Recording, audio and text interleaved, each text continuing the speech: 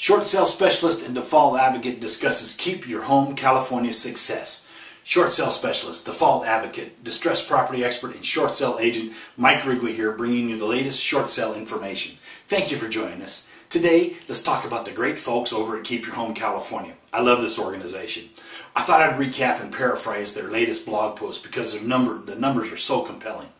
Keep Your Home California, a federally funded, state-mandated mortgage assistance program, deals with a ton of numbers and files a quarterly report with the U.S. Treasury Department. And some of the numbers were a bit, a bit head-turning in their recent report. For example, almost 99% of homeowners are still in their homes six months after receiving assistance from Keep Your Home California. Now, obviously, this helps the hardest hit homeowners, many who are out of work. But nearby homeowners also benefit from the program with fewer homes entering foreclosure and home prices stabilizing. Real important for the whole neighborhood. Numerous other figures caught their attention in the report, such as first-time applicants increased 64% during the second quarter compared to the first quarter of 2012. Many of the additional applications came from the Unemployment Mortgage Assistance Program, where Keep Your Home California approved 68% more applications for the program during the second quarter compared to the first quarter. Now, the program offers as much as $3,000 per month for up to nine months. That's $27,000 in mortgage assistance for homeowners collecting benefits from the EDD.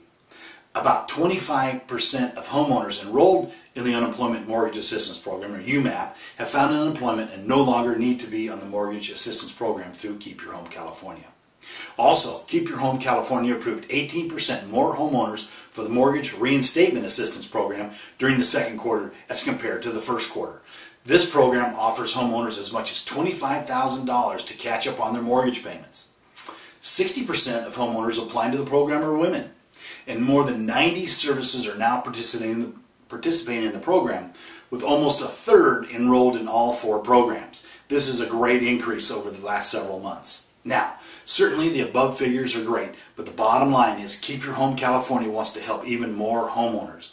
They want to keep their hitting streak going and end the season on a high note. So if you think that one of these programs might be right for you, give them a call or look them up online. If a short sale is the better option, call me and we can discuss your options.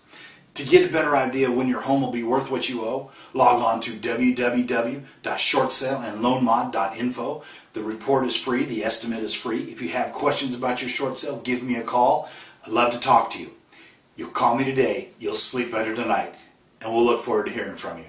Thanks for joining us.